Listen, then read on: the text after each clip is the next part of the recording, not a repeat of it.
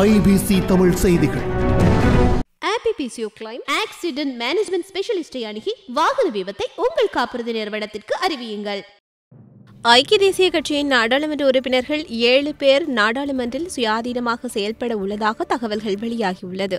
அந்த கட்சியின் நாடாளுமன்ற உறுப்பினர் ஹேஷ விதானகே ரத்னபுரியில் இடம்பெற்ற ஊடக சந்திப்பு ஒன்றில் வைத்து இதனை தெரிவித்துள்ளார். இதன்போது தொடர்ந்தும் பேசியவர் தாம் உள்ளிட்ட ஏழு நாடாளும் தாம் உள்ளிட்ட ஏழு நாடாளுமன்ற உறுப்பினர்கள் நாடாளுமன்றில் சுயாதீனமாக செயல்பட உள்ளோம். இது குறித்து கட்சியின் தலைவர் பிரதமர் ரணில் விக்ரமசிங்கவுக்கு அறிவிக்கப்பட்டுள்ளது. கடந்த காலத்தில் போராடி பெற்றுக்கொண்ட வெற்றியை முறையற்ற வகையில் சில அமைச்சர்கள் கையாளுகிறார்கள் அவர்களது நடவடிக்கைகளின் உடனடி மாற்றம் ஏற்பட வேண்டும். அவ்வாறு இல்லாவிட்டால் அதற்கு எதிராக கடுமையான செயல்பாடுகளை தாங்கள் முன்னெடுக்க உள்ளதாக நாடாளுமன்ற உறுப்பினர் ஹேஷ விதானகே தெரிவித்துள்ளார். இந்த மாதிரி நிறைய வீடியோஸ்க்காக ஐபிசி தமிழை சப்ஸ்கிரைப் பண்ணுங்க. நாங்க போடுற ஒவ்வொரு வீடியோவையும் நீங்க மிஸ் பண்ணாம பார்க்கணுமா? அப்போ கீழே இருக்க பெல் பட்டனை மறக்காம கிளிக் பண்ணுங்க.